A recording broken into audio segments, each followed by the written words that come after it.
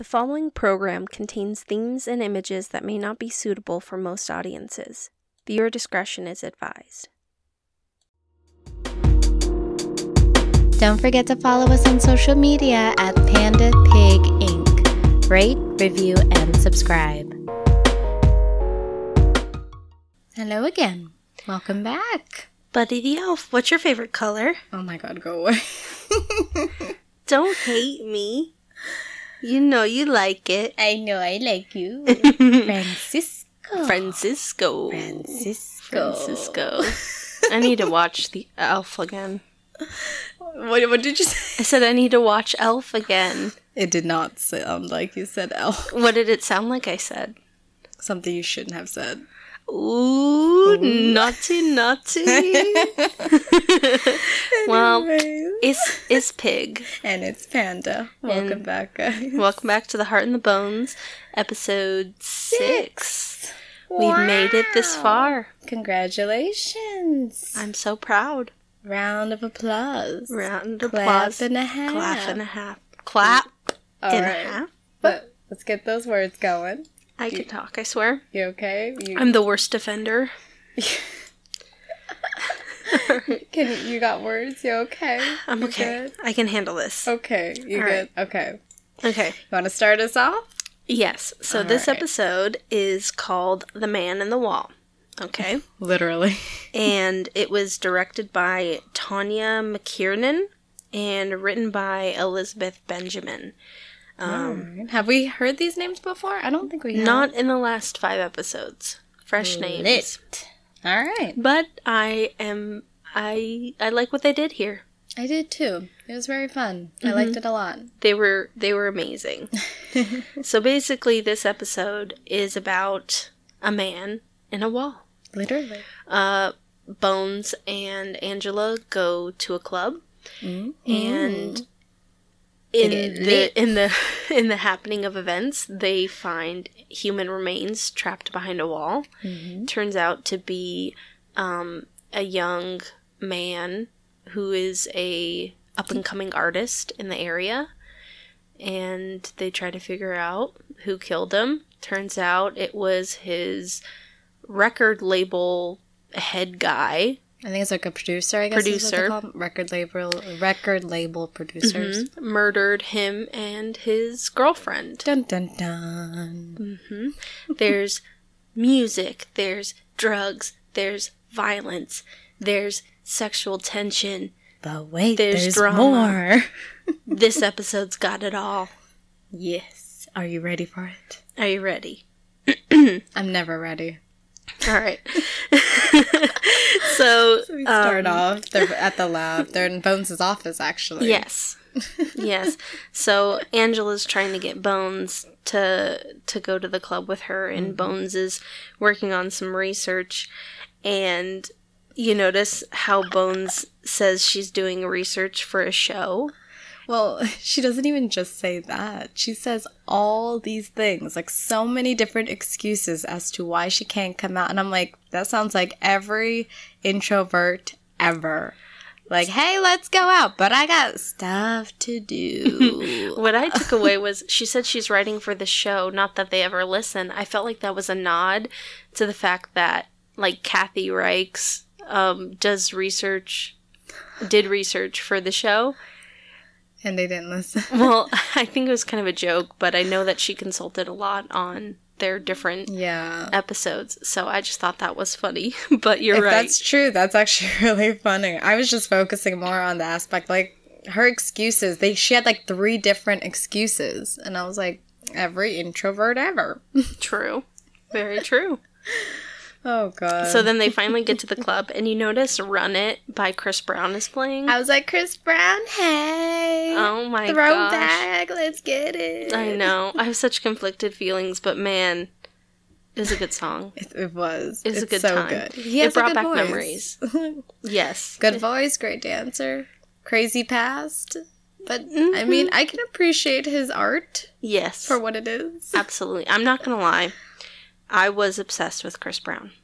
I really was. I mean, I don't blame you. He was very popular. Mhm. Very popular. He still does have some bangers, but during the time, shoo, he was He was. off the I was obsessed. I was obsessed. His voice was very good. He had the charms. He had the looks, moves. the moves. He was good. hmm It's just you know things happen. Stuff went down. It'd be like So they're in the club, Mm-hmm. and they're um, they go to have a good time. yeah. And Bones does her Bones thing, and she tries to analyze the situation, talking about before how Before that she goes, "Is my costume all right?" yes, yes, I'm like, I I'm gonna say that now. Like whenever I need to do an outfit check. So is my costume all right? yes. I love that part so much. That's before she starts analyzing the dance floor Yes. and music and Then- everything. Yep. And Angela's like, um, Bones was saying how the music it's hip hop, so she's saying how it's so tribal. Mm-hmm. And Angela's like, "Yo, don't don't say tribal. Like, don't Like, do just, that." Just relax, honey. Don't don't think too hard. And uh, uh, a bystander on the dance floor comes up to Bones and is like, Are you saying we're tribal? And Bones is like, No. She says, uh, Hip hop mirrors the direct, visceral connection you see in tribal communication. And, and they're Yep. like, What? I And, Yeah. and she's like, uh, she says, after the Cartesian split in the 17th century, we separated out the mind from our bodies, the numinous, the numinous to the from the animalistic, and they're like, "You're calling me an animal?" And the and the one lady comes up, and this is my favorite part. She goes, "No fool, she's using Descartes' philosophy to say she's down with the music." burn. So, I needed to know what all of that meant. Really? Because all I'm sitting here, I'm just like, all right. So, um, mentioning any type of tribal is a trigger, apparently. Well, So, because I mean, I mean- contextually, you can see why. Because a lot of the times, I don't know whether you say black or African American, but it wasn't get- even just that. It was like any type of tribe she mentioned. She would. Everyone was getting triggered everywhere around her. She was changing tribes as they were going because they weren't listening. They heard the tribe part, and they were they like, just got completely offended. they were like, this white lady comes into the club and calls us a bunch of tribal people. Yeah. Like it sounds offensive, but they didn't see where she was coming from. But what I love is the the one woman who like is into philosophy just shows up for bones and I was like, you know what? Intellectuals like to dance too, okay? They really do. But you said you did research on what she said. Mm-hmm. what did she say? So the part, one part that I was when she first says how hip hop mirror, mirrors the direct visceral connection. So visceral is like, um, like um, emotional, not not brain like. You know, like your body. Okay. So it's a connection, um, in tribal communication. So I'm guessing what she's saying is like feeling connections, emotional unthinking. So you feel the music and you feel its message rather than dissecting it. Okay. so And then I'm assuming like the girl who went in like to interrupt. I guess that was kind of the way of the show, kind of explaining like this is what she meant, y'all. right, well there's more to it. So she says she's using Descartes' philosophy. Yes. So what Descartes' philosophy is is it's a thesis called mi- mind-body dualism. okay. So it's basically that the nature of your mind is its own thing, and that it's completely different from your body. You know, like how sometimes people say think with your heart instead Yes. of with your head? Yes. It's kind of like that, is how I'm interpreting it. So Oh. what they're saying is is that hip hop, you feel it. You know, like Yeah, yeah, rhythm. You know, when people talk about rhythm, They feel it. you feel it. they so feel what the she's- moves. mhm. They feel the the rhythm of it, the bass, Mm-hmm. the beat. So what she's saying is that hip hop is a feeling music. You're using your emotional intelligence and your body to feel it rather than, you know, Mozart where you're analyzing all of the different notes and and meanings of of the different parts of it, if that makes sense. Uh, in a way, yeah. I would say Kind of. Bach more. Oh, you know what I I meant to just say a, a classical, classical- composer. So don't take that. that I said Mozart specifically. I just pulled the name out of a hat. So if you want to say Bach, I was just, I don't know. When I think that, I just think Bach. He has a certain way with. Right. When I think Bach, I think straight up metronome type of mm-hmm. things. so let's say Bach then. so hip hop, you're going to listen to it differently than you would mm. listen to Bach. Which makes sense. It's just the way she was putting it. It was like, what are these words coming out of your mouth? All you're saying is tribal, and you're Right. pissing us off, yo. So, but But, But they get like, triggered, and then it's like, what got me though is after the was it Descartes? What what did she say? The Descartes? she's saying that Bones was using Descartes' philosophy. Yes. So after she talks to the girl, like she intervenes, what got me is like, you know, she gets punched in the face, and then the girl was like, "Get out of my way!" And Bones basically just puts her arm around her head and just shoves her, Yes. like a complete shove, like bye. But like it was so effortless. Yes, like she just basically like threw away, like okay, you're over here now. To me it was like it was almost like a flick. Yeah. Like she flicked her down. Like, girl, bye. She didn't even take a second look. She just kept going. She flicked as she walked away. yes. and then the fact that she had to go do like a straight up was it like um she did like a full on was it 360 yeah. kick like I roundhouse kick I don't Yeah, know that's what I it looked don't know like to the me. terms. She She she, Chuck Norris his ass into the wall. This Into guy the into the wall. wall. yes. Oh god. That poor guy. That poor guy, especially because he got so after like you know this confrontation happens. Um, Bones kicks the guy into a wall, and a bunch of white powder just goes poof all over the dance floor. And Angela actually tastes the powder, and I'm like, girl. that would not have been my first thought, but basically they found out was it was like it's because you don't do drugs. Yes. But apparently, um, it was drugs, and I'm just like, dang, that guy got the first hit. He went straight into that wall. You know what? And at least he didn't feel a thing because now he's high. These are facts. Everyone in that room got high. I mean-. He may be a little traumatized for, you know, being face to face with a dead body, True. but at least he was high. He'll be fine. It'll be fine. It's fine. It's fine. It's uh, fine. good. It'd be fine. like that sometimes. but so Angela and Bones being a high was like the best thing. I'm gonna say High Bones and Angela is my favorite duo, and I wish they made them high much more often Yes. in the show. Like you have Angela being more passive aggressive, but Bones High, she is hyper. She's like hysterical. off the charts hyper. Like when she goes, "Get away from the remains!" Like, Like- she's like screaming at the guy.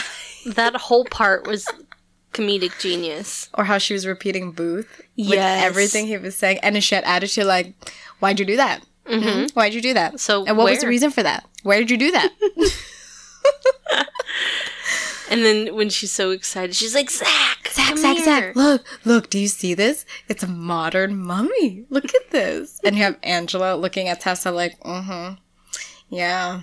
Mm-hmm. You and Exactly. Booth, you, your commitment issues much? Mm-hmm. There's just so much to unpack in this scene, and I feel like I have a lot more statements than like real insight. I really do too. And- and, but like- that's literally me. That's all I do. I Like my statements. first, my first thought is like, so why did Booth bring Tessa to the crime scene in the first place? Yes, they were on a date, but it's not like the mummy was going to be more dead if he dropped Tessa off at home.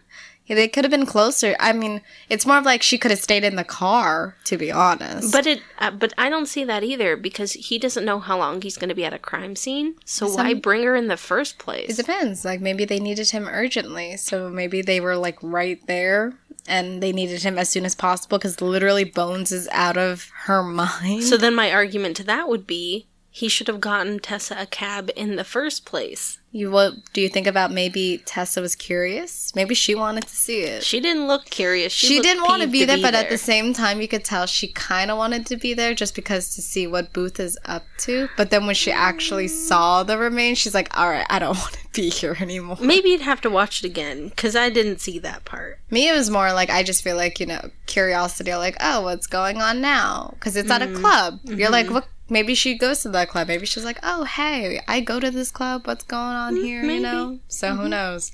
But again, I was more once I saw Morris Chestnut, I was like, hold up. Mm. He's here. He's everywhere. The man is everywhere, dude. I'm not mad at I'm it. not either. I was like, oh, hello. If he could be more places than everywhere, I would be happy. Stop yourself.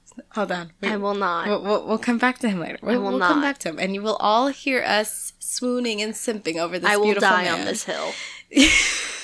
I don't believe you. He's so good. but um so the bit um there's this b plot going on between booth and um tessa about their relationship in this episode Yeah. so angela while she's high comments on it and she's like hmm i wouldn't see you guys as a couple you know the cop and the lawyer it's very touching Yes. you know and um She keeps like questioning their commitment basically Yes. throughout the whole episode. Just keeps going at it, like picking at them, like hmm, commitment much. Hello. Yes. we'll It's- talk about it more later. But Yes. she And- definitely brought it in on that one. something else that I thought was like, I don't know. I didn't do research. I'm not familiar with the crime scene portion of investigations, mm-hmm. but I don't know if she'd be allowed to work on the body while she's high. I don't think so either. To be feel like- I feel like it was movie purposes. Like, oh, it was funny, Entertaining. But then, you know, they also have like the FBI's forensic team there, so technically they didn't even have to be there in the first place. Well, when it comes to Bones, they always want her to be there first. Yeah, but it was for more like consulting. True. In the beginning, it was consulting. Now it's like they just always want her there, but usually Booth is supposed to be there with her. Well, it's not that um that she's always there. It's that we're only seeing the cases that Yeah, she's yeah. there for. Yeah,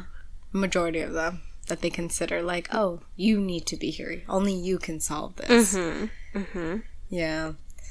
But that scene, dude, I was dying. I kept rewatching it over and I over again. It was I so could funny. Not stop. Especially the whole Zach, Zach, Zach. Look at this, Zach. I need the clip of. I need to create an audio file for myself of Bones saying, "Stay away from the remains." Yes, I need that too. I need that. I It's need so that. entertaining. Or maybe just a clip of just Morris Chestnut just existing. Mm, yes,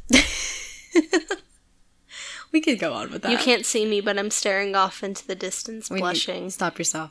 Stop yourself. It's okay. I cannot. It's okay. I cannot. But so, anyways, we move on to the lab. So and Bones and Angela like hung over and even more well Angela's more pissy and now Bones is pissy. Mm-hmm.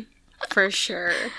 God, that has me dying. Yeah. They basically they're trying to figure out maybe what happened and they bring up the idea that maybe he the victim was stuck behind the wall and that the bag of meth pop that he was holding popped and that he inhaled it too much like it popped and he inhaled inhaled all of it and asphyxiated Yeah. and they um they figure that he was dead for about 6 weeks Mm, something like that. I believe it was I didn't catch that part. I just know Angela's like, Why am I here? And Bones is like, You wanted me to have a good time, so you get to suffer with me. true Like this is I it was like payback is something along those lines. She was just like, This is payback for showing me a good time. And Hodgins is loving every minute of it Oh yeah. He totally is. and then they um look at his hand at the the victim's hand It- yeah. to ID him from the fingerprints. So Bones degloves the skin from the hand Like the bones of from the bones, and they figure out that the victim is Roy Taylor, otherwise known as DJ Mount, one of the best DJs in the DC area. Woot woot. Um, and But so okay. So before we go from this, I had I could not shake it where I'm just watching this over and over again and I'm like, okay.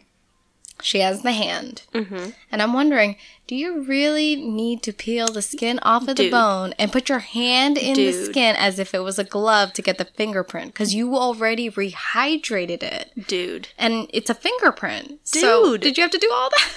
I dude, seriously, Like- I'm with you a thousand percent. I'm like, it's on the skin. You did not have to put your hand. I was like, all right, movie magic. Okay, and let's Click. say like For what purpose? to gross out Booth. That's the purpose. Because I was like, dude, you do not need to do that. It was interesting seeing him uncomfortable like that, though. but it's funny because they do it again later. yeah. But also, Maybe it's a common thing. Maybe the bones was too stiff, but still, I feel like they could have just broken the finger at that point. right. And he already cut off the whole hand. when they're having that conversation, he's trying to distract himself by talking to Bones about potential vacation spots. yeah. and they're talking about Costa Rica, and Bones mentions how, you know, they've got parrots there, and Booth is like, he doesn't like parrots. He says that people should do all the talking. You actually paid attention to that part. All I looked at was the fingerprint. See the glove. I had no idea what were the words coming out of his mouth. So he was I'm not even gonna lie. He was trying to distract himself, and he was Yeah. saying different vacation spots, and Bones is like, he was asking her if she'd ever been to Costa Rica. Yeah. And she's like, Yeah, I've been to Costa Rica. They have great wildlife and parrots. And he's like, Oh no, I don't like parrots. I think I think people should do all the talking.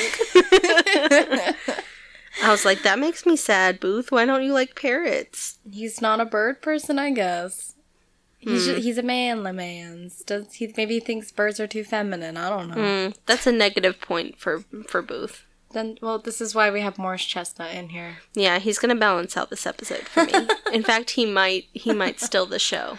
Mm, mm. Stay tuned for more. Mm-hmm. so then the next scene. So we're- didn't really have much to comment on the next scene, but basically, um, Hall, Randall, Hall, the producer, producer. he comes to Booth's office and basically gives us the first potential sub- suspect, which is DJ Rules. saying that it was DJ Mount's number one enemy. And DJ Rules was actually performing at the club while Angela the opening scene. Bones, yeah, they were at they were at the club in the beginning. So you hear, "Hey, give it up for DJ Rules," blah blah Yes. blah. So he was there. So they're like, "Oh, okay, we know him." Mm-hmm. I didn't really have much to say during that. I No. I was just looking at Morris Chestnut, and that was really I'm going to be honest with you. The scenes that I don't have commentary mostly have to do with him being in the scene. yeah. I mean, I, it's either right. It's either I won't have any commentary, or when the scene comes up, I'm gonna magically find commentary, but it's just gonna be about him. right. So the the next scene they go to um, back to the lab, yes. and Bones Bones says she's gonna go get facts. So she goes to the lab. I mean, goes to the the club to go get facts, and they're using a camera to look behind the wall to see what's there.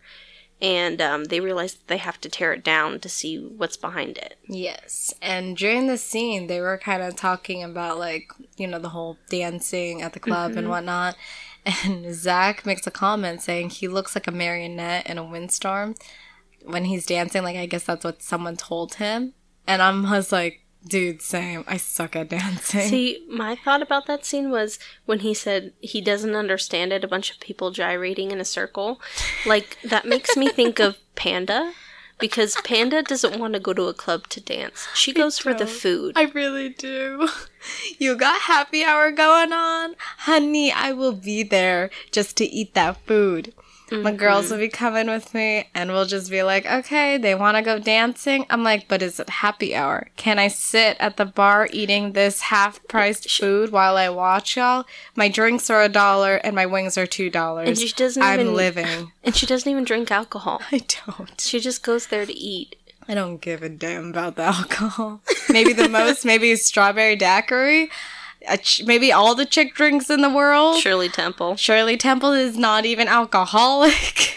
But you could make it you alcoholic. can make a dirty Shirley Temple. Oh, honestly, that phrase sounds horrible. Incredibly, but I believe that's what it's called. You I don't like that. That it. feels wrong. It's- We're sorry, Shirley Temple. I mean, obviously, she has passed away, so It's she's not a up child. phrase. She's not a child, but still, it feels wrong. well, either way, just get me like a pina colada. oh, I'm down with that. You see, yeah. It But- just, yeah. But the drinks don't matter unless it, it it has to be half. It has to be happy hour, okay? The food, the drinks. Otherwise, I don't want to go. I know Mm, true. it'd be like that. It do be like that sometimes. And that's where I am. I'll just sit there and be like, yeah, y'all dance. Or they be like, come on, we're going to go dance. I'm like, can I bring this food with me though? Can I go stand at the dance floor? I will stand in the middle of the dance floor eating my food. and scene. Lit. So then, um, at Booth's office, Yes. Roy's father, Roy's the victim, Roy Taylor, DJ Mounts, his his father visits Booth. Um, he brings a box of medals and trophies, basically saying that his son wasn't involved in a lifestyle that would have contributed to his death the way that the media is portraying it to be. And Booth basically promises he's going to find out what's going to what happened to his kid. Which I think is nice. I like how Booth was like letting him talk. Like Booth understood what the father mm-hmm. was going to do, mm-hmm. and Booth probably gets it a lot in general. But I gla- I'm glad he was just like, I understand. I hear I will you. I will give praise to this scene and then I will give criticism. Okay. All right, let's go. So my praise to this scene is that it was very emotional. Like the guy who plays Roy's father is a mm. very good actor. Um, he really emphasizes like a lot of the issues that happen to somebody who dies in a unique way, mm-hmm. like how the press can run with a particular story, Yes, even though it's completely untrue. which is so true. That really does happen. Mm-hmm. And I felt emotional. Like you, when you heard him talking, you felt like he was talking about his actual son, someone who was loved. Right. Now, my critique of this scene is that just because somebody graduated third in their class and didn't do drugs doesn't make their murder any less worthy of investigation. Interesting. Because what I feel like, I feel like obviously there's this idea of like the perfect victim, mm-hmm. which is what most people in true crime will see as the blonde, middle class white girl Yeah. and they are the case that always gets investigated. They're the faces that are on milk cartons that people are interested in figuring out what happening what happened to them. Mm-hmm. But other victims who are seen as less desirable don't get that same treatment. really. Mm-hmm. Oh yeah. Like- Like I think about it, that's true. So in this situation, to me, what the dad is basically saying, he's like, because my son was an upstanding citizen, you should figure out what happened to him. Like, please pay attention to mm-hmm. this case. And- Get justice for my son. And Booth seemed ambivalent until this scene. So to me, I'm like, Booth, just because this father talked to you about this doesn't mean that now you should investigate harder to figure out who killed him. Just because he didn't do drugs and he was a smart kid. People who do drugs and get in bad lifestyles, their lives are, are just as worthy. Yeah, they to matter figure out what too. happened. They deserve justice just as much as anyone else. Yeah. That was my critique. That was Oh, your critique. And then I have a factoid. Oh, okay. So Wikipedia? well, kind of Wikipedia. So when he says iniquity, like some iniquity killed my boy, yeah. uh, iniquity just means like gross injustice, something that was completely unfair and unwarranted. Oh, okay. I figured so. It just, it kind of made sense. Mm-hmm. Okay. Yeah. That's cool.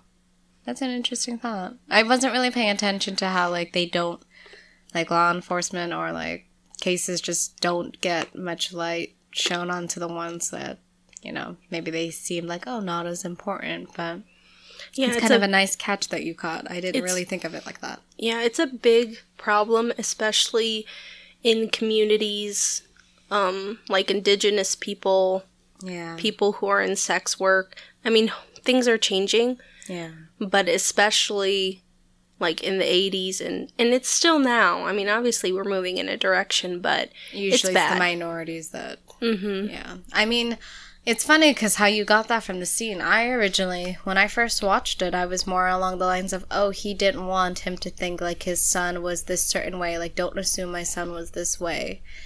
And, you know, he deserved better. So don't put him in this type of light because of what the tabloids are doing.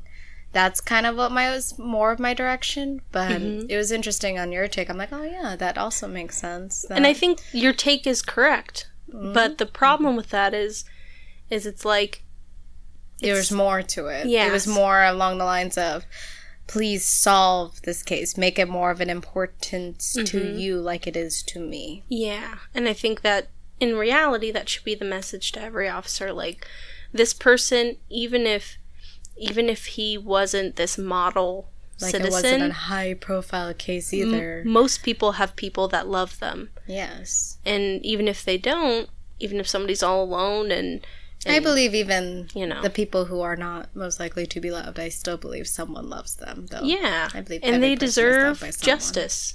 Yes. hmm All of them do. And it sucks when they can't solve it. Absolutely. Yeah. So, moving on to that one, we go behind the wall. Yes.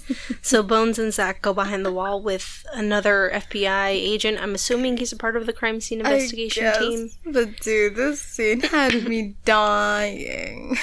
They go behind the wall and they find a piece of jewelry in the pipe. Yes. You know.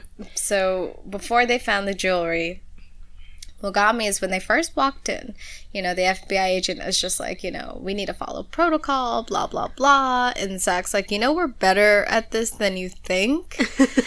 and then he's like, you know, what? You know what those are? And Bones is like, rats. And Zach's like, what? You're trying to just you trying to scare us with rats? We go to mm-hmm. places where the rats eat the laces right out of our boots. Mm-hmm. And then I think he made a comment like something Willard, and I was like, what the hell does that mean? So I didn't understand the reference either.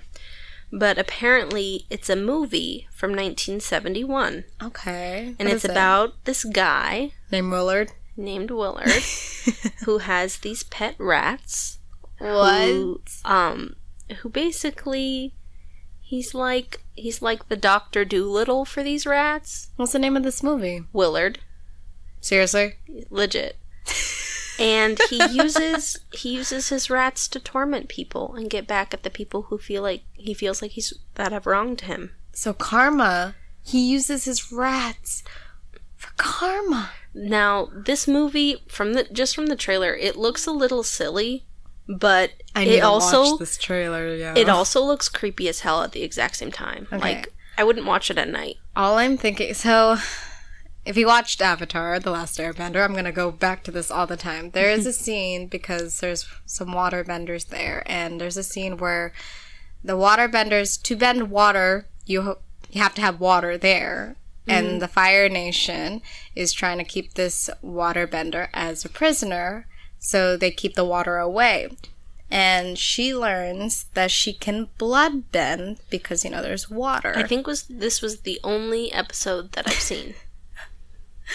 Guys, don't kill her, please don't. Kill her. No, I'm planning on watching it. I just She plans on watching. We actually to plan to make like hopefully maybe like a episode or two, or maybe a couple episodes on Avatar. We want to do like a segment on it, but because Mm-hmm. Basically, she hasn't as- gotten to it. Mhm, As uh, Panda is a Avatar: The Last Airbender Fanatic. veteran fanatic, and I, the noob, Yeah, thought it would might be an interesting concept. Let us know if you'd be interested. please do let us know. And yes, I would add in Korra as well. I do have thoughts as well, and the comics and everything all out of the above. But anyways, going back to what I was saying is that there is a scene where this waterbender, she's you know deprived of the water, and she actually finds out she can blood bend, and she's doing it on rats. And what she does is she practices on rats until there's like a full moon to where she feels the strongest, because that's how it is for the waterbenders in the show. They're the most strongest when there's like a full moon at night.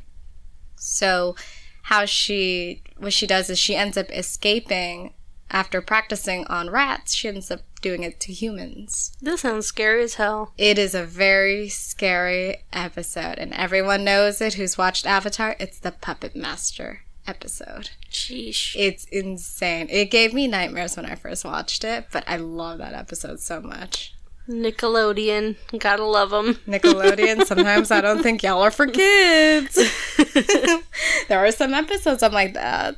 I don't know about that one. Interesting. But So I love it. on the to watch list, Willard and Avatar: Last Airbender. Yes. And if you guys want us to do some reviews or maybe do like a watch along or something, let us know because we would be more than happy to do mm-hmm. that. We are at your will. Yes. We bow down to you all. Mm-hmm. so So then they go back to the lab Yeah. and they learn that the jewelry is a belly button ring that says "Love Rules." Um, that it was ripped out of another victim or suspect. And from the damage to inside of Roy's lips, they see that he actually was smothered and was murdered. dun dun dun. Oh my god, I'm gonna die. Don't do that. So what I, what got me though is I was like, geez, Angela. While they're looking at this belly button ring, Angela is still going at it about Tessa. She knows exactly what she's doing. She knows. Oh my god, like. She plays off as helpful or inquisitive, but she's laying the groundwork for a breakup. Yes, like even there was a point where Angela was telling Booth like, "Oh, you should get Tessa a belly button ring. It's not too much commitment, don't you think?" She is she is the instigator. She really is. Like she went and inserted herself where there were no problems and made problems. She really did. We're just like, Angela, what are you doing? Mm-hmm. But when I first found out it was a belly button ring, I was like, ow. Dude, I can't Ow. I can't think about it. God. It's too much. Painful. My other thought was like the way this man died is so horrific. Like it's heartbreaking it's it's horror. It like sucks. smothered while you're wedged behind a wall. So Like like, not only you're like claustrophobic in a space, but someone smothers you. Like, dang. that. And you're trying to run away with, like, was he running after her or running with her? I think he was running with her. Yeah, that sucks because you love this girl and you're running with her and then boom, death. Mm-hmm. Exactly. It sucks. So now that they know that the jewelry says love rules, they go to see DJ Rules at his studio. And he he reveals that Roy tried to diss him on one of his songs Yeah. and that the belly ring belonged to Eve Warren, who is DJ Rules' ex. And now but it's the victim's new girlfriend. yep, And when you first see like the opening scene of it, it's Soul Survivor. And you hear Jeezy. Akon. featuring Akon. It does feature Akon, but all I'm focusing on is Akon. That was I'm my like, first thought too. I'm like, I miss you, dude. I was I like, miss you and your long ass name. I was like, is that Akon I Right. hear? We got Chris Brown. Now we got Akon. It's 2005, baby. I swear, it's good times. Swear. Oh gosh. Or okay, so what got me is the way Booth is trying to talk to Rules. Oh, ab- I'm no. just like, don't, dude. why? Booth, don't do it. Why? Like, there's a part where he's like, oh, he even says, um, because they're like, I think Booth was asking him a question, and he was like, so, and Booth is like, so, murder is whacked with an ed, guys, And an then- ed at the end, like not whack, whacked. And then, and then when he's showing uh, DJ Rules the wedding ring, he's like, "She had your ring," and I was like, "Booth, don't, don't. If you don't talk like that on the regular, don't, Don't add do it in it. now just because you're talking to a rapper. That's gross. yes, make it stop. That's illegal. Straight to jail. Go to jail. Straight to jail. Goodbye. You cancelled. You selling uh too much for sweaters? Straight to jail. Yeah, no booth. I like I like how the like they're like, oh was it Miss America or something? Like Um, Miss Universe? Like they were so- complimenting Bones. So Rules saw Bones walk in and he's like, Oh, are we recruiting from America's Next Top Model now? Yes, that's what it was.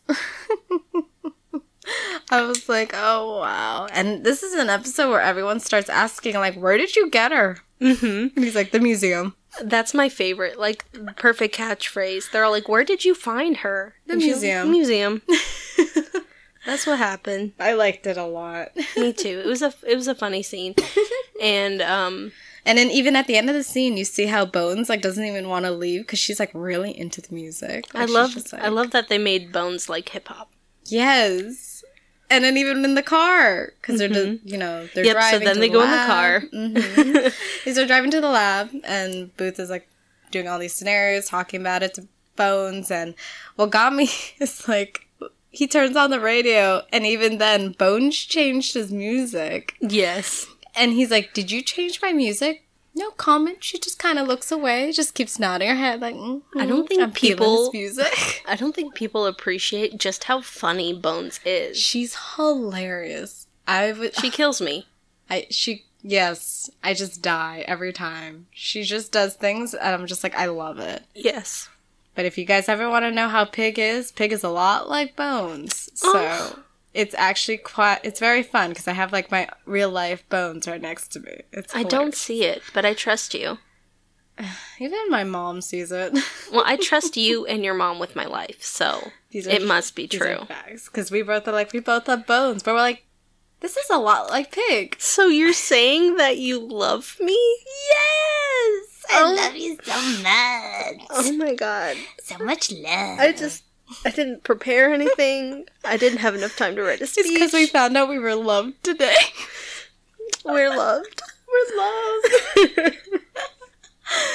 so then moving on, we're right back at the lab. Yes. And Zach Zach finds an indentation in the skull Yes. and they're basically trying to determine if it was a result of trauma or if it was some kind of genetic disorder. Yes. And what was interesting is this is the first time we hear that Zach is from Michigan and he has three brothers and four sisters that we never get to see. No, we see them. When?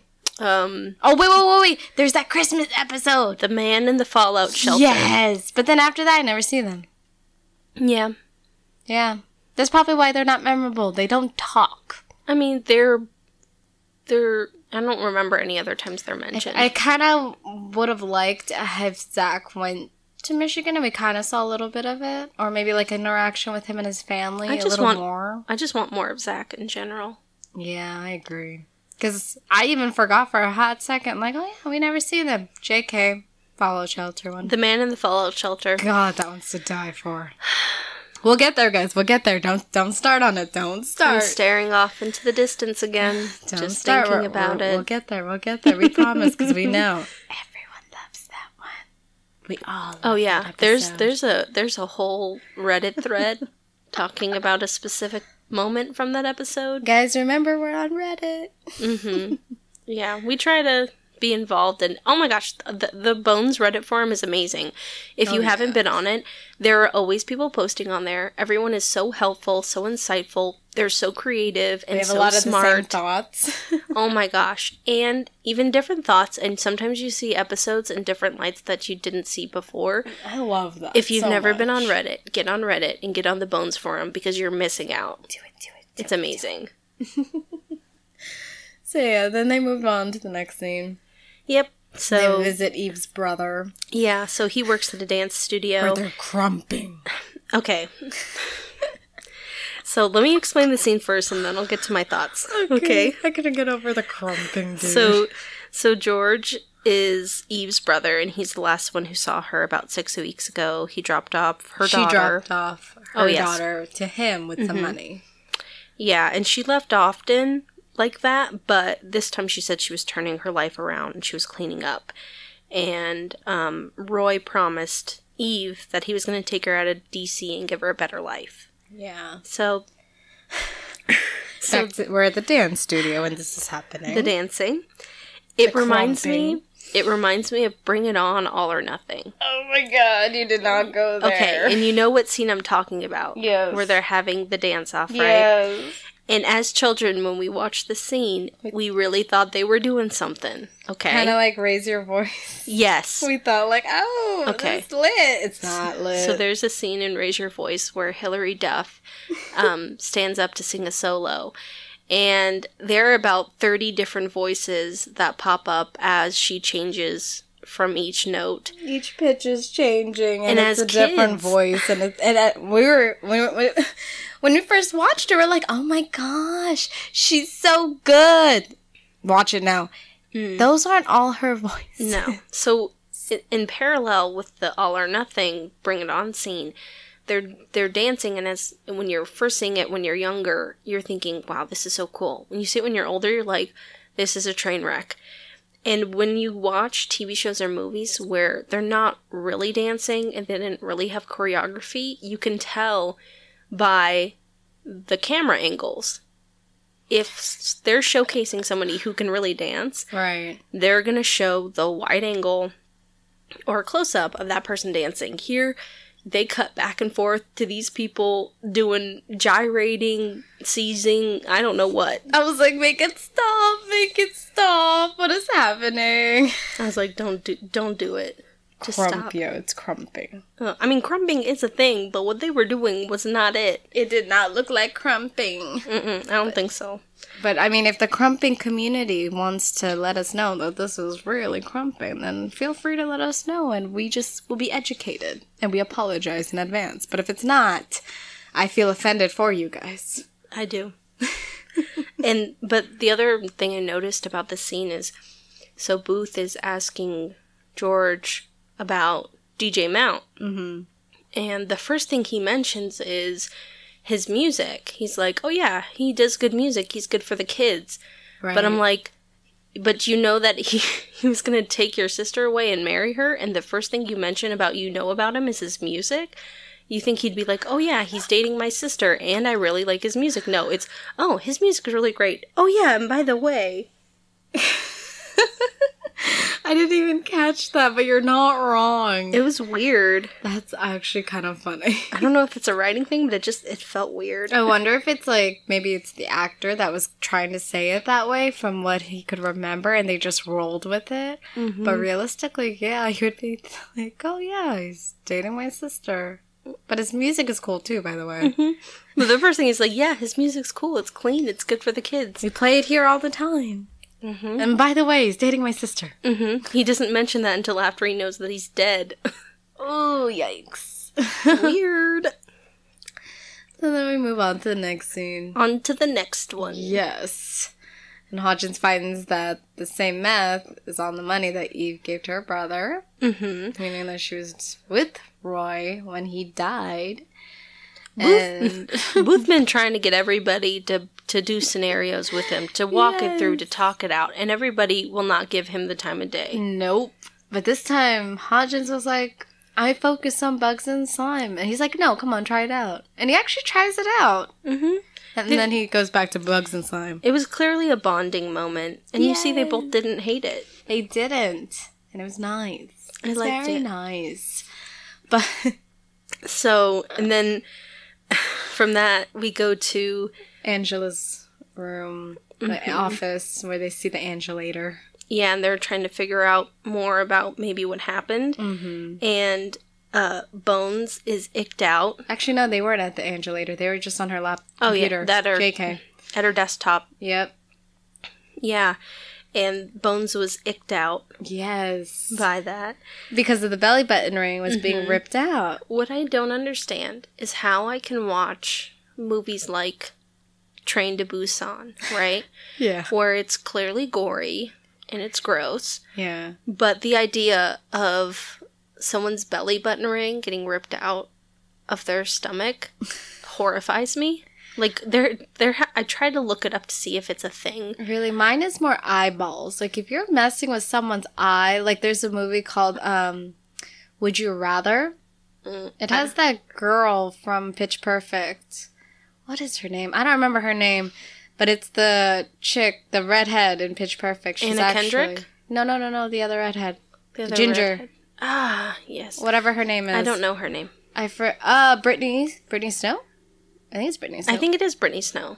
So she's in uh, Would You Rather, one of the versions of Would You Rather, and she's blonde. And then there's a part where in the movie where they're trying to make them like poke, like some type of glass in their eye. Oh no. And I'm like, oh, eyeball stuff. No, Absolutely no, no, not. no, no, no, no. Or like Saw movies. Mm, I'm also like that with fingernails. Like Really? if there's a movie or something where they're like, oh, "We're gonna rip off your fingernails one by one," I'm like, "Oh." or bones snapping, like in the middle of scenes. Like, was it Don't Be Afraid of the Dark, where the mom's like ankle or her uh, what is Oh no, not the Like- ankles. I don't know if it's the ankle. It's above the ankle, like between the knee and the foot. What is this piece of leg called?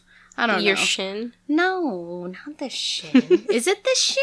Wait, what was the parts again? Sorry, I wasn't Between listening. the knee and the foot. Is it Yeah, really it's a shin. Okay, well, either way, something around those lines. It gets snapped, and then she starts. Sh- she's screaming, and she gets pulled Mm. in. That literally mortified me. I'm like, okay, so I guess Ooh. bone snapping and eyeballs is what do it for me. Something non gory that rubs me the wrong way is when you see girls wearing heels in a movie and they fall, but their ankle, like, they fall on the Ew. side of their foot. Yeah. That's personal. Really? Like, to me, because of how many times I've twisted my ankle, like, I just relive Oh, it. yeah, she is notorious for twisting that ankle, y'all. Anytime I see someone fall on their ankle like that, I'm. I have PTSD, I swear. I mean, yeah. Or oh, you know, in Breaking Dawn, Twilight Breaking Dawn. Oh, the you remember when- pregnancy. the pregnancy one, The and back break. She, oh my god, the bone breaking sound. I was like, yo, I don't You know, if I could do that. Stephenie Meyer does not write or contribute to the romance genre. She's a straight up horror writer. That's hilarious. Think about it, okay? The, Stephenie Meyer is Tangent. the writer of Twilight, s- someone and she does. here's horror. a tangent. Here's a tangent, guys. Sorry. Okay, here's Detour. Here's my argument, which there are people who agree with me that Twilight should actually be horror instead of romance. You have this hundreds year old dude who somehow convinces this boring ass girl to be inexplicably in love with him, even though he could eat her. Honestly, it could be so perfect. It could have been like a perfect horror movie. It's honestly, they should rebrand it. And then you could have like Jacob trying to see if like maybe oh no, we want to eat her instead. and they fight over eating her. But then Edward falls in love, but All still right. he still wants to eat her. Someone get on AO3, someone get on Wattpad and make this happen. Come on guys, make our dreams come true. Make it happen. So going back to Bo. Sorry, we apologize. we had to. We had to talk about that cuz the cuz when Oh, sorry. Last last thing. What is it? Last part of my tangent. So I said like those things freak me out, Yeah. but like the scene in Underworld where Viktor gets his head sliced in half and it just slides off. It's so satisfying. I feel like anyone is getting their head sliced off. Like, uh, was it Ghost Ship? They all get sliced in half in the beginning. Oh, yeah, true. lit. And All the right. little girl sees the head of the guy. I think he's the captain. His head gets chopped off and it falls off. Is True. great? True. Okay, let's leave let's leave pop culture corner.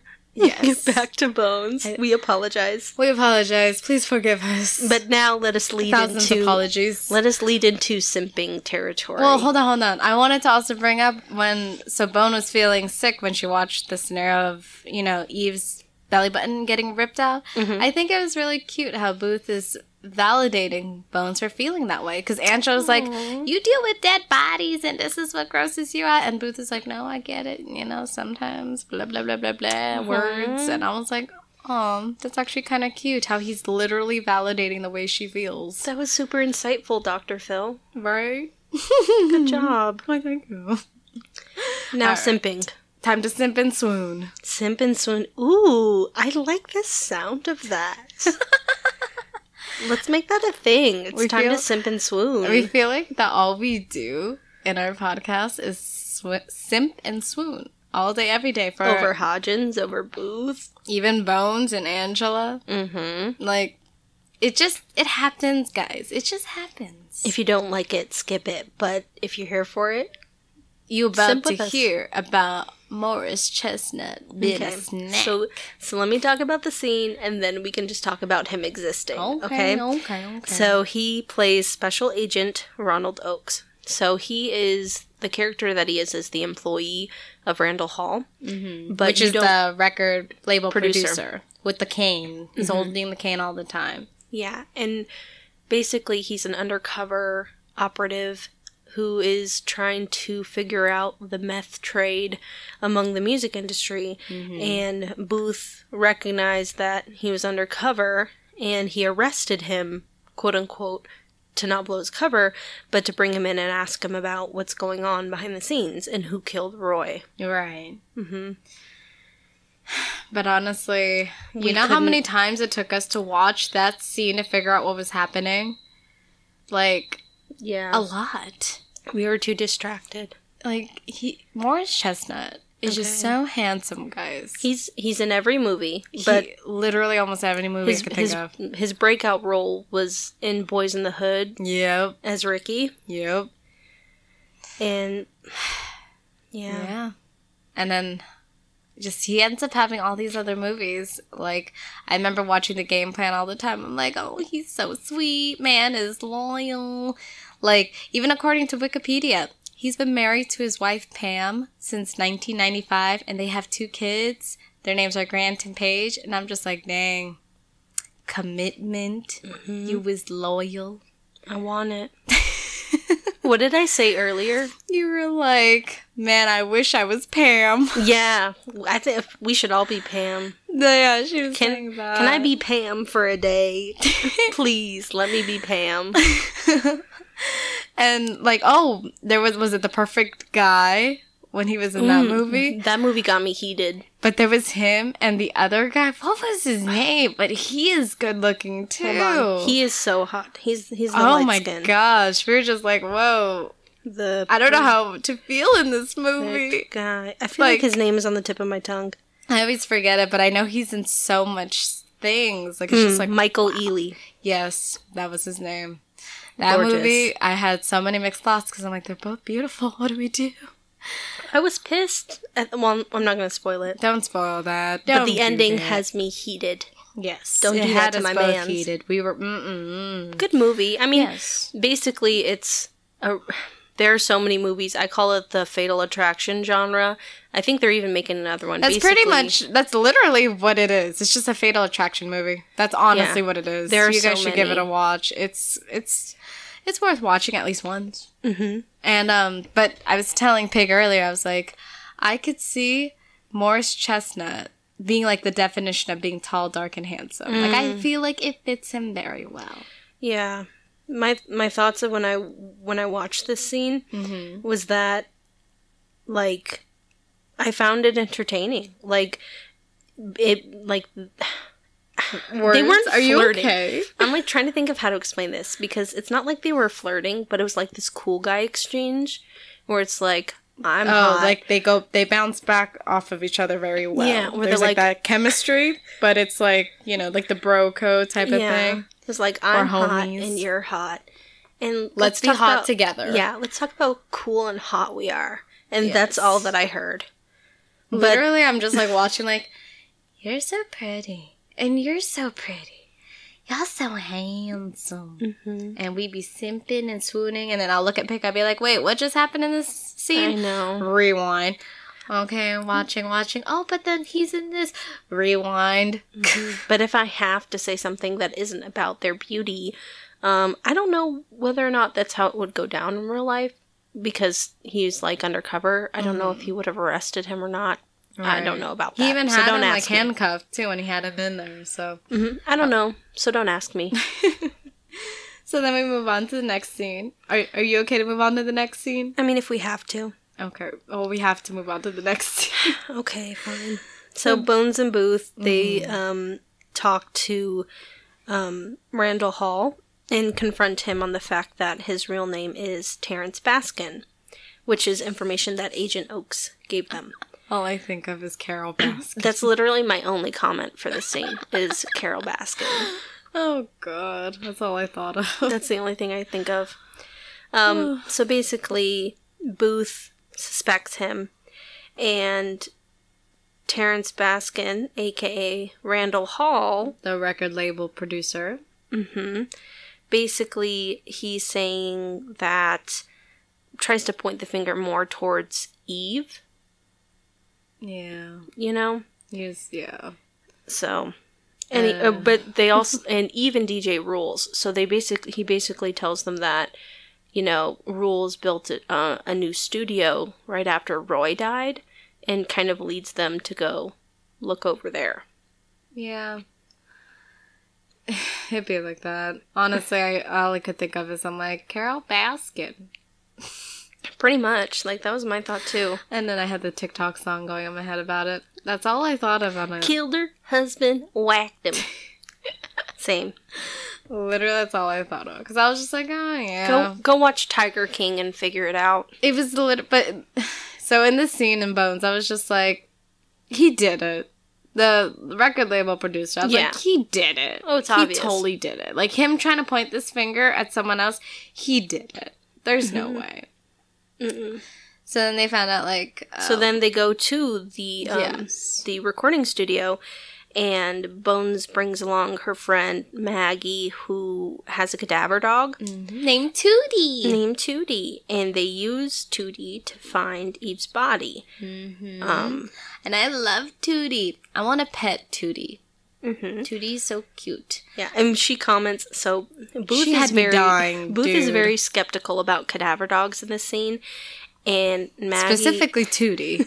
Because she's like, oh, Tootie's drooling. Mhm. and she's like, "Well, your eyes are too close together, but you don't hear me comment." Yeah. She's I was like, like, so what, okay. Tootie drools? Like, what's your deal? I Like, felt that burn. It was so funny. and I'm just sitting here like, man, the shots fired at Booth just continues. Like, people just keep going at it with Booth. His personal life, Mm-hmm. people won't throw him a bone, and now someone's like, tell him, hey, your eyes are kind of close together. Like, dang. They Can you catch a break? But it's okay. They're close together, but he's still beautiful. He is. He is. It's But- okay, though. but, I still um, love you, David Boreanaz.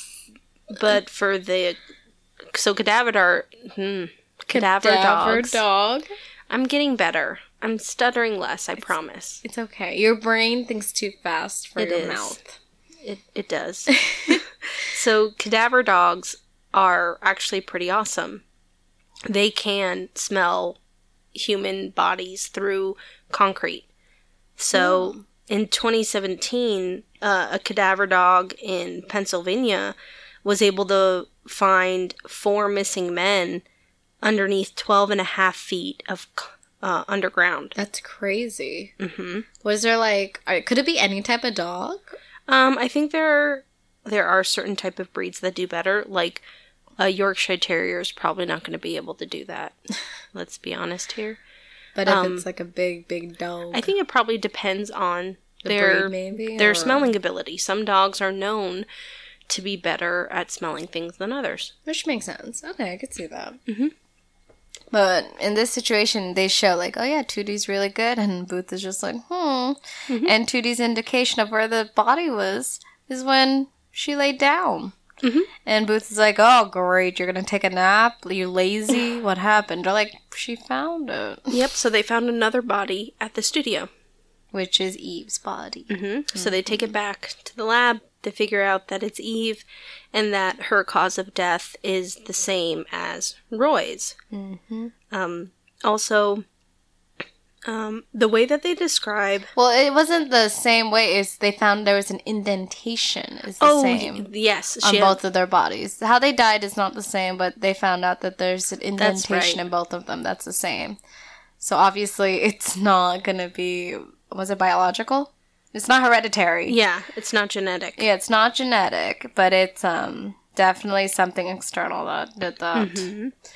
and um, Tess is there at the lab too, And she- Angela is seriously messing with them. Tess is bringing Booth a shirt, and they're talking about how they decided to go on a vacation to Jamaica. Mm-hmm. And Angela is basically like, "Oh, so this is the pre-shacking up test vacation," Yep. and just totally She's seriously messing with them. Like, mind karateing their brains. like, oh my gosh, what are you doing, Angela? You don't have to put your foot She- there, but she is. She's doing it because she knows her good friend needs to be with this guy. I don't blame her. And if not the good friend, she would have wanted to be with him. I mean, not wrong. I don't think they would have been a good match, though, to be honest. No, I don't think so either. But But Bones, Booth, and Angela, they go back to run scenarios again, yep, and they figure out how Eve was murdered. And um, Bones says that her wrist was broken, and they figure out that DJ Rules couldn't have done it because he has nerve damage In his right hand. hmm so they go to the interrogation room. Yes. So Oh my god, this scene had me dying. so they go to they they pick up DJ Rules in the interrogation room. Even though they know he couldn't have done it, they know that he knows whatever happened. So he reveals that Roy was going to switch labels and which gives Randall Hall motive for murder. Yep. Um, he just needed to get the money to buy out. So Rules, he tries to negotiate to get locked up for the sake of his reputation. That way his sales go up. Mm-hmm. That way, because you already have DJ Mount, his sales are going off the charts because he just died. So if uh, DJ Rules ends up going to jail, his sales will go up through the roof too because they'll be like, oh, he has something to do with it. Let me buy his tracks. Yes, and Rules basically reveals that it was Randall Hall's idea to give him the new studio, made him pay for it, and he poured the concrete the day after Eve and Roy went missing. Yeah. During this scene, though, I was dying because I'm just like DJ Roll's excitement. He's like, yeah, yeah, let me go to jail. Like I'm like, okay, look at him with his Bow Wow vibes. All right, okay. Like he's cute. He's cute. he's adorable. And then, you can tell he's he's one of those rappers who who's like not a true who's who's like never been involved in crime before but needs to boost up his street cred. Right. it's really what it is. And it's so funny because Booth gets it. He's like, oh, yeah, I'll lock you up in jail. We could do this for you. And Bones is mm-hmm. like, what am I in, like, opposite, like, reverse world or something like that? Yes. And she was trying to understand what was happening. And when she tried, DJ Rules is like, where did you find her? And again, Booth goes, museum. You know, that's the second time they said that this episode. It was so funny. It killed me. I, I love it. Every time they do it, I just love it. Yeah, it was adorable. Oh, and then, gross. so basically, they get the, they get the information that they need, Yep. and um, they go back to the lab, Back to the lab. and Zach finds that the same mark that is on Eve, I mean, that's on uh, Roy's skull, is the same mark that's on Eve, and um, Booth is like talking about different scenarios of what Yes. could happened. it's being saying that they were trying to, you know, start a new life together. Yeah. And he starts to feel more emotionally invested because he sees that Randall Hall is really the one who did it. And he's frustrated because Randall Hall is basically untouchable. That's Mm-hmm. the whole reason why they have like an undercover agent over there trying to, you know, catch him. With And the that- whole, was it the meth trading? They were trying to figure out that situation with the drug trades. And as we know from the episode of A Boy in a Tree, Mm-hmm. Booth really hates it when a suspect is supposedly untouchable. Yep. There's nothing he hates more. Yep. So he's like, you know what? I'm gonna go spread the pain. So he decides to go bother. And Bones is like, I can spread pain. I can she's- come. she runs after him, starts following him, like, I can do it too, I can do it too. And they're so cute. yeah. So now they're at the studio. So then they they go back to the studio to confront Randall Hall, and um, basically they're saying that they pose the scenario that Hall did it, and they say that the studio is an active crime scene. Yeah. So Booth tells um, Randall Hall, he's like, "I'm gonna harass you," Yeah. and Bones kind of has the epiphany that the marks on their heads are from his cane. because there's a point where Randall Hall decides to like, because he's getting pissed off at Booth, so he takes his cane and he kind of like puts it on him, like up against his chest. He Pokes him. He pokes him, and Booth is just like, "Did he just poke me? Did he just poke me with his little stick?" and I was like, "Dude." I want to stick because you hear Randall Hall going, If I want to poke someone, I'ma do it. Honestly, that part pisses me off. Like, because, like, if someone were to do that to me, I'd be so pissed off. Like, there's certain things somebody could do that would really get me heated. And it's poking you. It's poking like that, or like someone pulling the earbuds out of your ear. Okay, pulling earbuds out of my ear, that heats me. Poking me, I don't really care for. But poking like that. Poke, that, yeah. I, it's more, for me, it's like earbuds or like you take my food. Don't take my food. Yeah. I'll get mad if you take my, or you turn off my show. Mm, Or you change my favorite song. turn into your lane without using their turn signal. God, I hate stupid people. Use your signal, guys. Gosh. You just go and cut people off and, like, you know, you could cause an accident. Cheese and crackers is not that hard. Mm-hmm. But yes, I'm gonna poke those people with a stick. I'm gonna poke them exactly that way. It's a cool. It's a cool cane though. It is a cool cane to an extent, and then you see how he uses it. It's kind of like the way he does it is like bitch made though. Look at him. He's just like, "Hmm, I got a stick, and I'm gonna poke you with it. Because he thinks he's all bad. But it's so funny that that's what he uses. He's And also- not like I'm gonna pull out a gun and be like, "Here I go, I'm the realest one here." But nah, he got a stick. True. Well, he has his um, employee, Mr. Chestnut, Yeah, too. but still, have his whatever, whatever. But um, the part where they're trying to figure out how to confiscate the cane from him, that they have to arrest him. Oh yeah, yeah. Um, y- th- that's then he was like, um, "This will never hold up in court." He could arrest him for that. I mean, technically, he meets the elements. Booth is an officer, and he assaulted him. mhm, technically, it's a battery Yeah. Because um, there was he actually did it. He actually poked him with the um, stick, and technically, a battery is just unwanted touching. So, like, so like, I could go to you and slap you on the arm, and technically, that's a battery. Now, whether or not that goes to court and you actually get charged with it is a different story. but technically, that's a battery. Oh, all right. Not assault, but battery. I mean, assault is. It's. The definitions don't make sense. I can get into it another time about assault versus battery. it later. But um, but just know that technically, you he could arrest him for that. I could see that. So then we move on. we move on, and we're back at the lab once again. oh God! Here, Angel and Bones.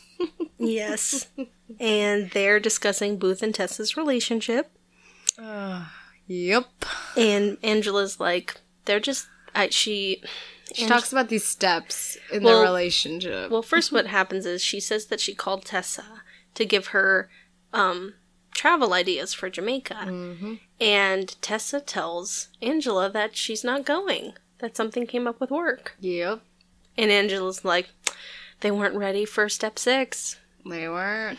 She's saying that uh, they balked. Yep, and I was um, like, what the hell is a balker? Like, okay, I looked it up, don't worry. of course you did. Because I'm just like, you have bones. It's like, Booth is not a balker.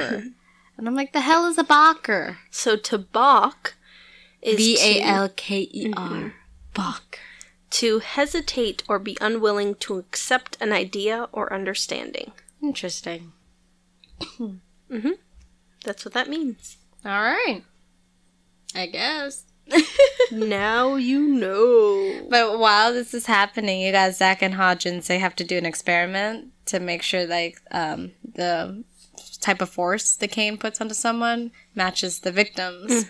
And Hodgins is going to be doing it to Zach. Thus starting the long history of of Zach having to be the victim in scenarios. Yes. And Zach's like, why am I the one that has to be hit? Why can't I hit you?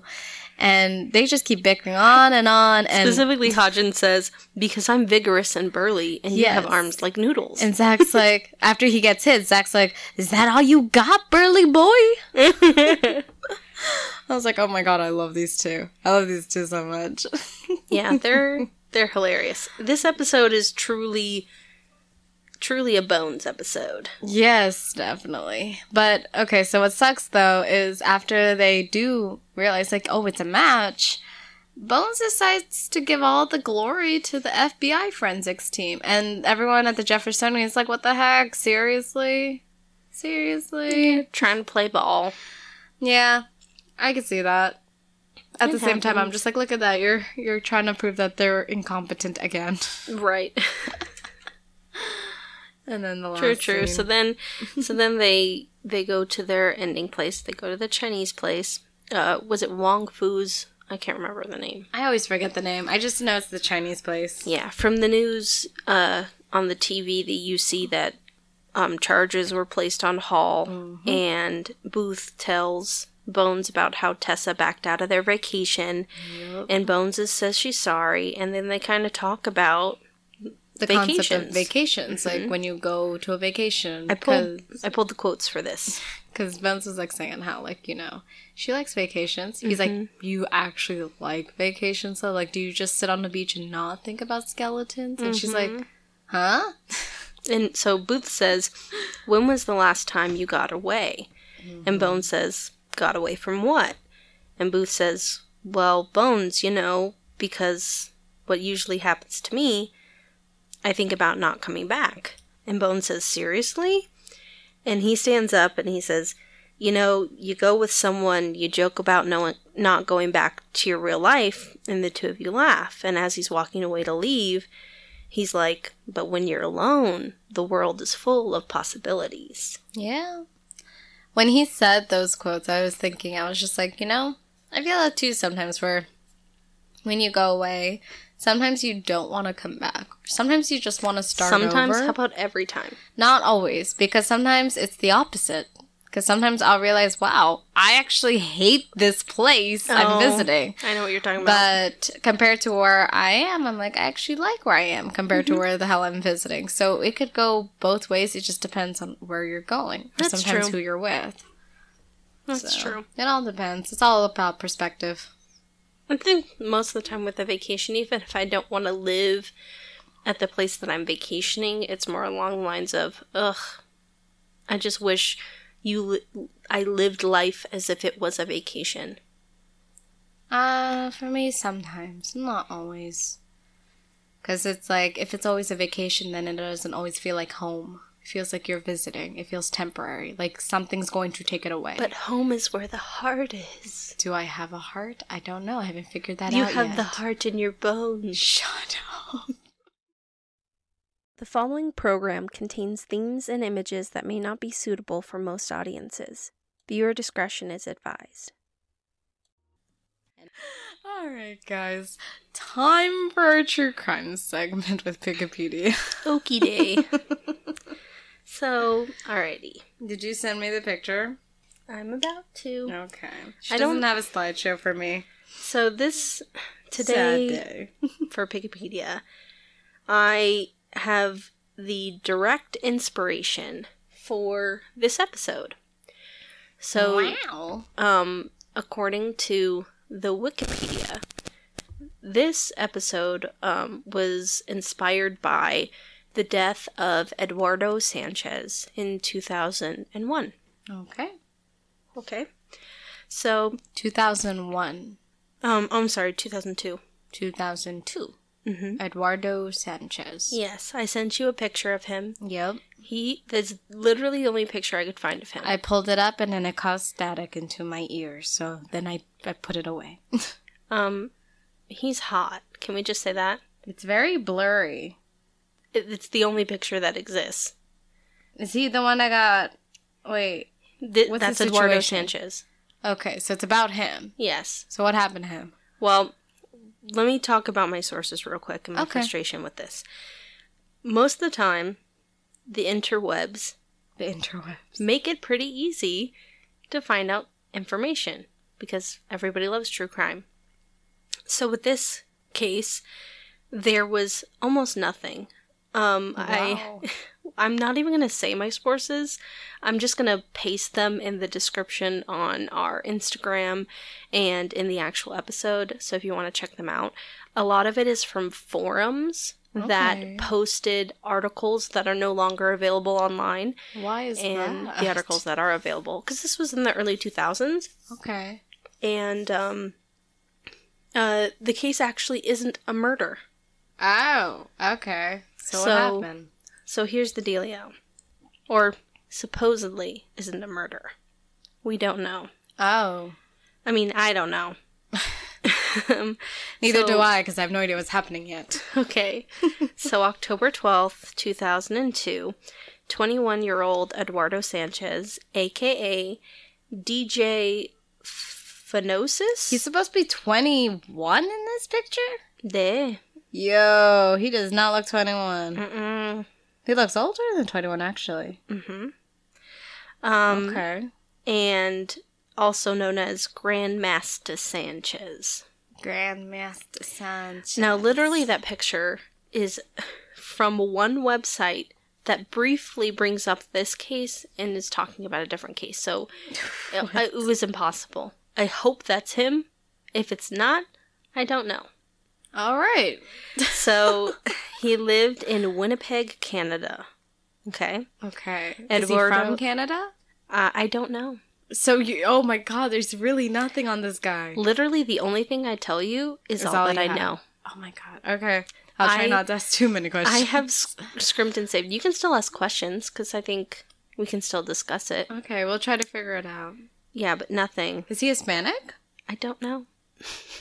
Well, moving on. Um, Eduardo sometimes worked at the Collective Cabaret as a DJ In Canada. in Canada. And uh, he would spin records and play some drum and bass music that he had made on his home computer. So this was the early 2000s. So making your own drum and bass music on the computer is a lot different than how you do it today. Interesting. Um, so at 12:48 in the morning, he withdrew $80 in cash from an ATM in the front entrance of the collective, the cabaret. And at about 2:45 in the morning, people saw him speak with three of his friends in a car parked outside. Um, they invited him to a house party, but he said no, Okay. and he was last seen walking back toward the cabaret. So was he kind of just like a guy who just always kept himself? Uh, kind of. I mean, that's what it sounds like. He sounds like a guy who kind of just minded his business. he did his own thing. From what it appears, it doesn't seem like he had a lot of close friends. It seems like he maybe kept people at a distance. okay. Um, they said Anything he, about family yet, or nothing, or literally kind of. I. I kind of get into it at the end, okay. but not much there either, to be honest. Okay. Um, he appeared intoxicated when he Um, was walking away. Okay. So Eduardo's family and friends searched all over Winnipeg for weeks and were unable to find him. Um, the police searched the basement area of the club where Sanchez disappeared, and a small officer tried to squeeze between the walls to see if there was anything, but couldn't. Like, it's just tight spaces. Mm-hmm. So, fast forward to September 2003. So, A year later. hmm Um, Winnipeg was one of the first cities to ban smoking inside restaurants um, in the early 2000s. Okay. And so, for the last so many years, in those areas, all you smelled was cigarette smoke. Mm-hmm. But now that smoking was banned, you, um, in that area, you couldn't smell cigarette smoke, but a new smell emerged. A bad smell Deteriorating. replaced it. Um, Yikes. so the neighbors who lived next to the club, they noticed this foul smell for over a year, but they figured that it was stale beer and stale cigarette smoke. But it just got worse. The smell was just that Mhm. bad. Because now you don't have the smell of cigarettes to cover it. Gross. Did they smell it inside the cabaret? It was everywhere. Oh, Lord. They said sometimes it reeked of sewage when you came in in the morning. Yikes. So this was, you know, around that time. So finally, there was just a uh, like a ton of complaints that they decided to investigate. yeah, they're like enough is enough. Okay. So, um, a part that kind of relates exactly back to the Bones episode is that they use a small camera from a local cleaning duct company to go behind the wall and see what's behind there. Yeah. And the police find that a body was wedged into a narrow space between the stone foundation and a newer wall in the basement of the club. What? His body was badly decomposed and nearly mummified. How did he get back there? So they so he entered the gap between the walls from an opening at one end and somehow managed to wiggle through a 23 meter long gap and the space was about 20 to 60 centimeters wide. So I don't know what that is in American, Oh, I don't know either. but it doesn't sound easy. Ugh, and he was intoxicated when this happened. Yeah, so a meter I know is comparable to a yard, but it's Okay. bigger. So 23 meters has got to be way more than Where the 23 hell did he yards. think he was going? Where was he going? What was he doing? That is the biggest question that nobody can answer.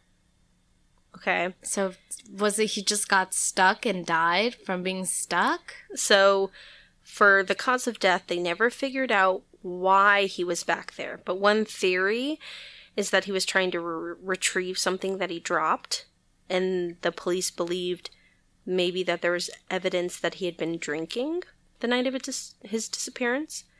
But his What could body he had dropped to where he kept walking forward. 23 meters. exactly. Like my imagining of this is Like excuse me. unless it's from above and you drop something and then you see where it is, so you squeeze in between the wedge to get there. That's Yeah. different. That's a long distance to pick up something that you dropped because if I'm if I'm picturing this correctly, it's a it's a wall, right? Mm-hmm. And it's a narrow space between the wall. So if you're by and you drop something and maybe it it clatters and rolls, I can't see it rolling.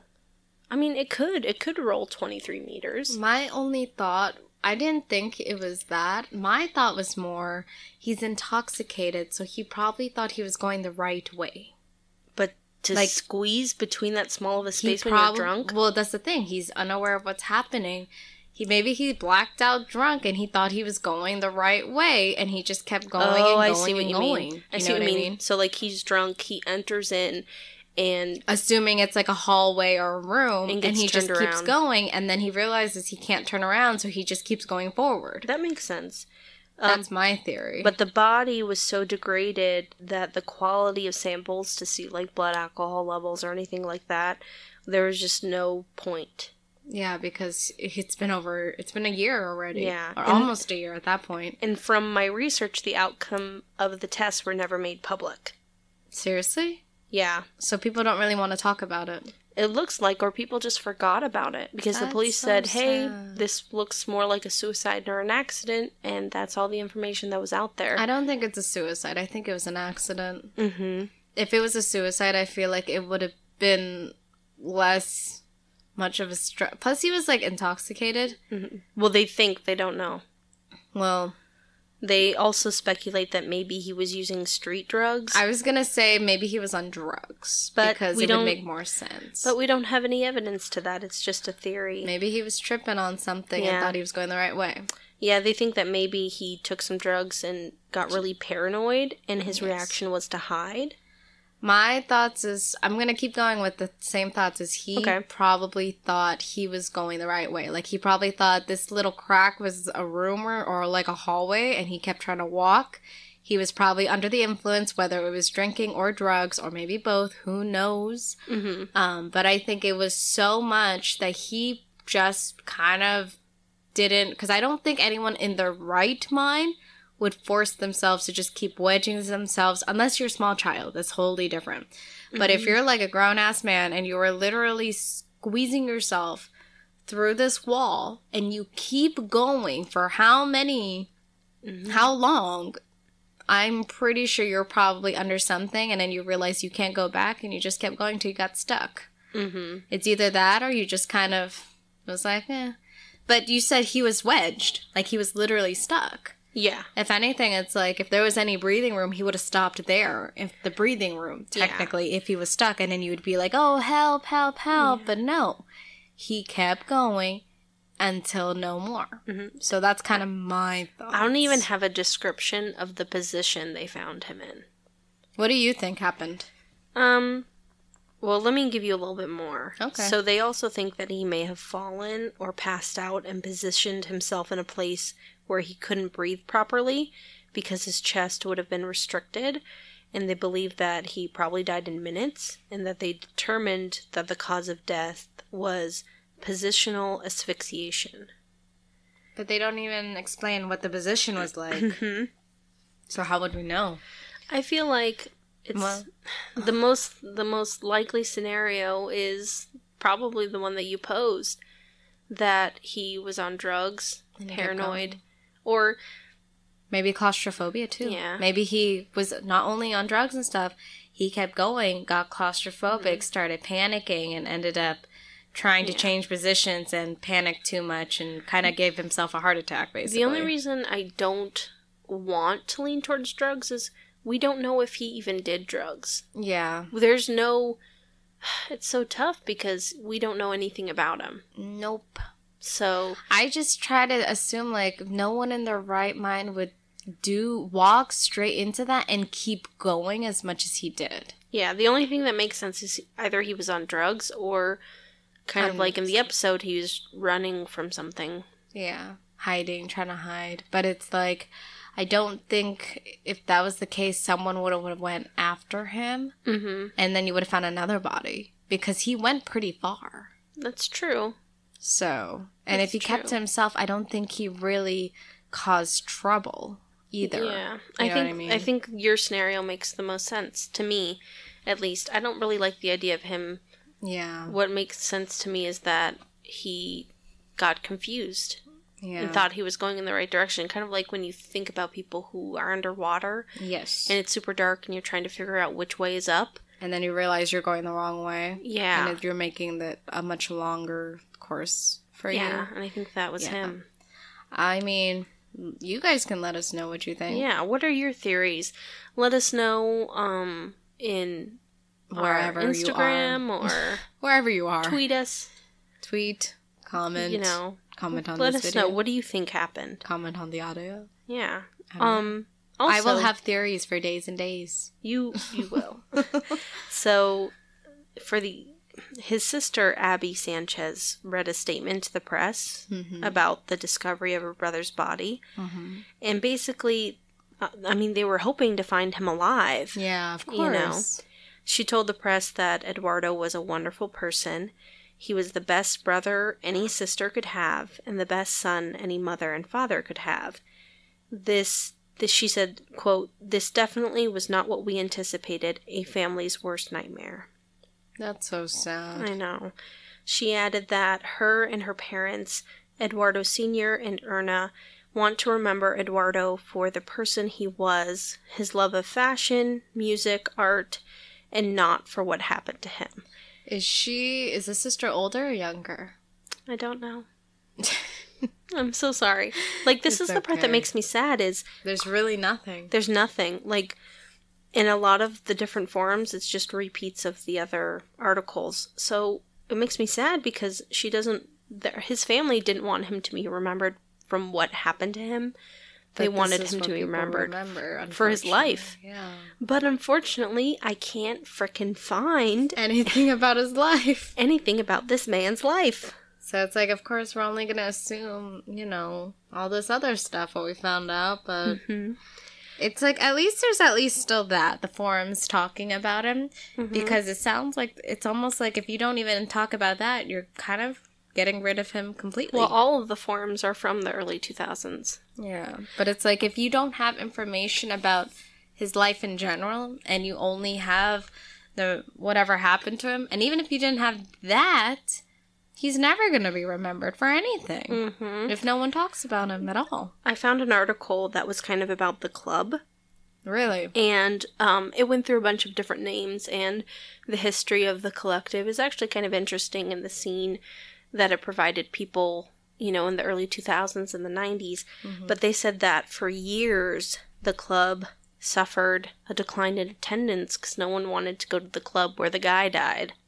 Dang, that sucks. Yep. There's also a song by this band called Pelican Mm-hmm. called Dead Between the Walls that was inspired by the incident. I looked up the song. There are no lyrics. It's only an instrumental. Yeah. So I don't understand. Because I was about to say, I'm like, hold on. What? I kind of want to listen to the song. I mean, it's just an instrumental, so I don't understand. But I'll, also, I'll listen to it and I'll see what I think about it. so this case is what inspired the episode, and you can see that really easily. Specifically, the fact of the camera going behind the wall Mm-hmm. to see who's there.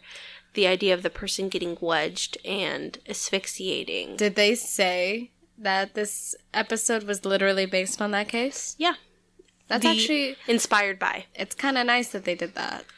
Because Yeah. at least it's like, you know, no one really knows about this case. No one really talks about it. And this sounds like such an impossible thing, but it happened. It's so fascinating. I would love to know more about it, Yeah. but I can't. I mean, obviously there are probably better sleuths out there than me who can do more than a Google search to find I more just wish we information. knew more about like his life and what he did and what he wanted to be and Well, where he his was a DJ. was going. He loved music, he loved fashion, and he loved art, and he loved his family, and his family loved him. I just wish there was more. Like, what was your aspiration? What was your dreams? What did you want to do? Where did you want to go? Mm-hmm. Did you meet anyone? Do you have friends? You know? Yeah, why are you so hot? Why is your picture blurry? Why is that the only picture of you? Is that the is that actually you? Is it even you? Am, have I fallen for the classic blunder of believing the internet? oh my gosh. It'd be like that sometimes. It do. It do. And I'm sad. But you know what? Mr. Sanchez, we'll remember you. We will remember you. Rest in peace, good sir. Rip Mr. Sanchez. Rip. Yeah. So that's Yeah. um that's the end of this episode. Um I'm excited for the next episode in particular. Mm. For the I plan out I try to plan out ahead of the crimes that I'm going to do for each case. hmm And I'm excited for the next one. What is the next one again? Um, the next episode is A Man on Death Row. Okay. It's a great episode because it introduces a character that is important Yep. to Bones lore. And I also have a really interesting case to go along with it. I'm excited. Yep. I hope you guys are too. Keep us turned on. Oh my god, why are you like Don't turn us off. Do not turn us off, please. Let's stay turned on together. Let's always stay turned on together. Mhm. Round of applause, clap and a half. Come back. go. We'll collect co- two hundred dollars that We'll- we do not have. We'll cabadone you again. yes, with our glued skulls. Yes. Catch you guys next week. Goodbye. We love you very much. Goodbye. Adios. Das vidania. Mm-hmm. Later, babes. Stop. Bye. Goodbye. Next week on The Heart in the Bones, let's go up to a stranger and ask them if we've got a sex vibe. I'm gonna just poke them with a stick and run. Yeah, because we both Let me know, know how that highly goes. likely. oh yeah. Highly likely. I'm a very outgoing person. Totally.